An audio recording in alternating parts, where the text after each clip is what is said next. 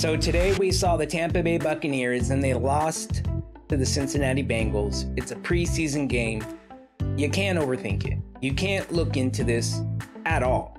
At all, right? It's a preseason game. Yesterday I posted a video where I showed you that several quarterbacks, second and third string quarterbacks looked really good. There was several of them. And then again today, right? Trey Lance didn't look bad. I think he had a huge touchdown pass. Um, Zach Wilson, I think, went six for nine today. Like Kellen Mond didn't have a bad day. Jordan Love with the Green Bay Packers had an, a, a good day. Like a lot of quarterbacks are going to have good preseason games because coaches call plays in order to build their confidence, right? Because they're trying to develop these quarterbacks. So when you watch preseason games, you have to ignore the box office numbers. Box office numbers don't tell you anything about a preseason game. As a matter of fact, one of the mistakes fans make is they read too much into stats, especially with regards to preseason games.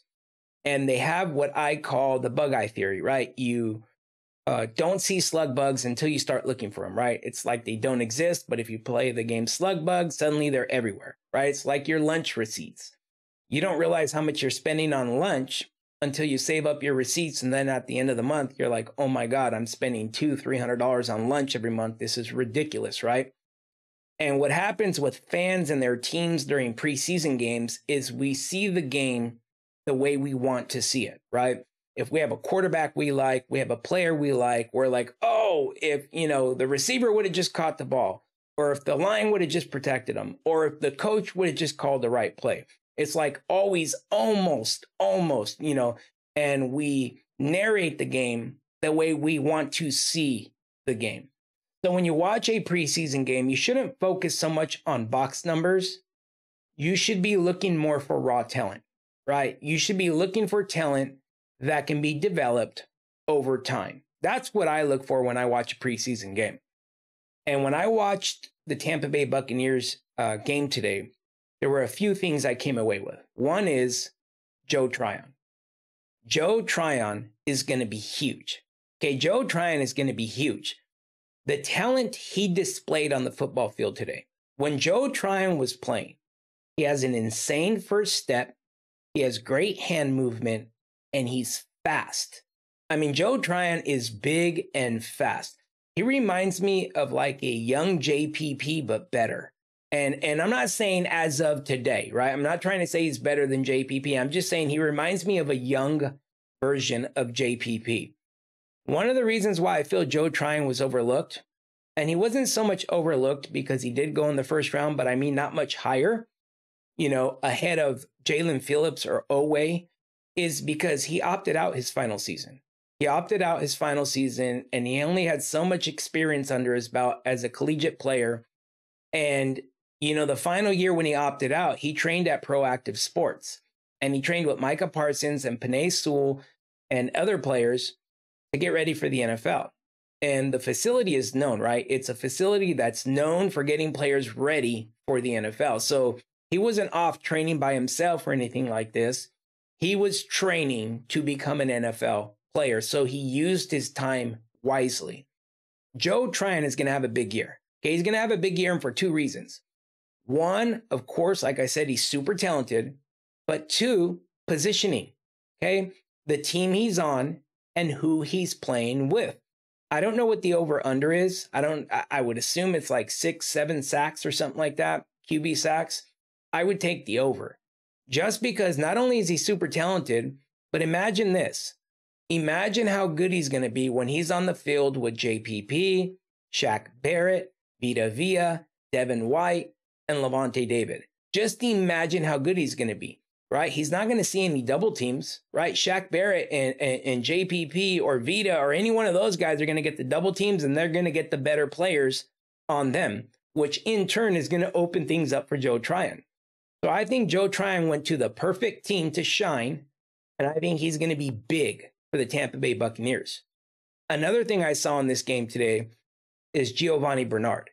Okay, he has great hands. He has James White type of hands. As a matter of fact, I think he's second since he came into the NFL behind James White in receiving yards for a running back. But you saw him catch one pass from Tom Brady today, And you can just tell those two are going to be on the same page. And if you have followed Tom Brady, you know he loves his running backs. He loves his running backs, especially in big moments. And it seems like Giovani Bernard can be that running back. You know, I didn't think that Tampa could get better, but it seems like they got better. Like it seems like they got better. And I'm not talking just about what I saw in the preseason game, it's just the raw talent. Giovani Bernard fits a weakness this team had. Leonard Fournette and Rojo had a lot of drop passes last year. Giovani Bernard does not drop passes. So that's fixing a weakness. Now they have a back who can catch balls, especially on third down. Joe Tryon, right? This team already had an elite pass rush, but now their pass rush is going to be even better. The other thing that I saw in this game was the Bucks defense, right? Joseph Jones had an interception for a touchdown.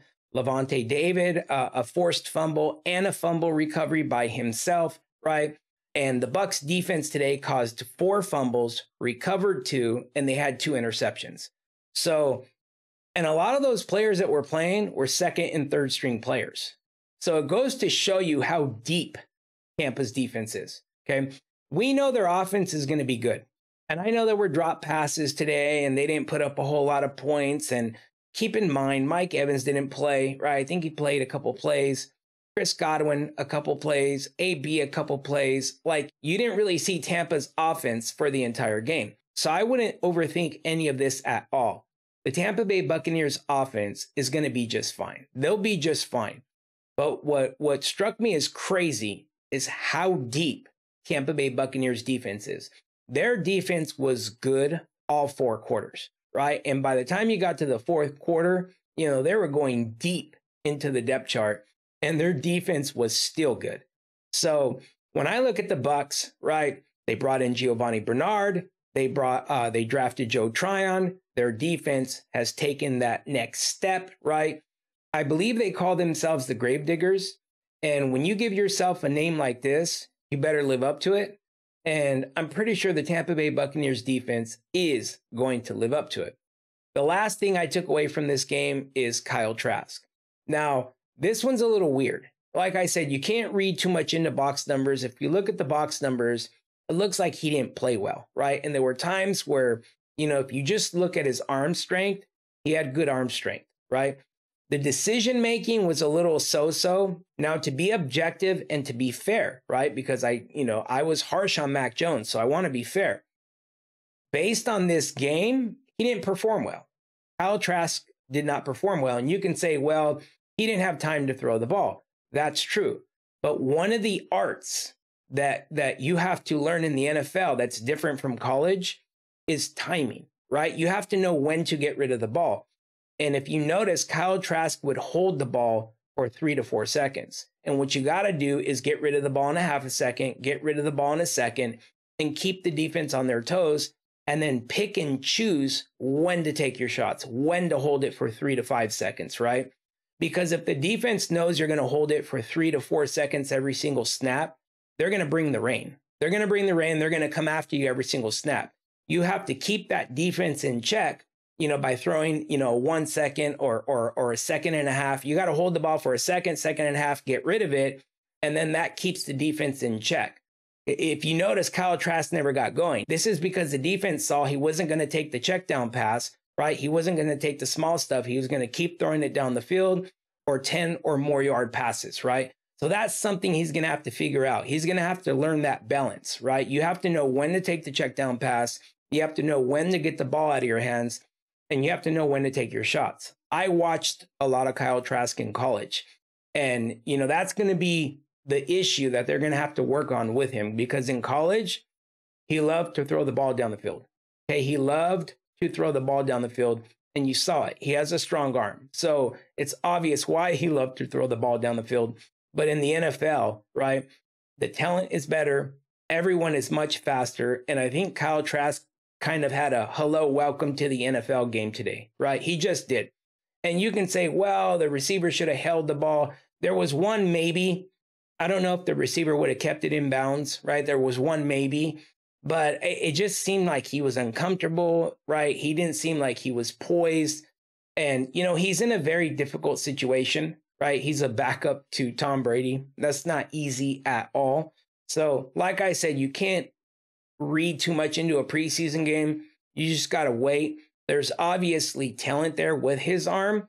We got to see if the Tampa Bay Buccaneers can develop that talent, right? And he can actually turn into an NFL quarterback. He can go from a college quarterback to an NFL quarterback. The good news is he doesn't have to do it anytime soon because Tom Brady's going to play this year, and barring no injuries, he's going to play next year too. So, anyway, after watching this game, I, I, you know, it just looks to me like the Bucks got better. It looks to me like the Bucks got better uh, just from a pure talent perspective, right? I'm not talking about the overall game. I'm just talking about zoning in on talent. The Bucks got better, and uh, it's going to be an exciting year for the Tampa Bay Buccaneers and their fans. Hey everyone, thank you for watching SP Sports today. Please don't forget to click the subscribe button down below. This way you are notified when we post new videos. Also, if you have a moment, leave a comment and check out our other videos.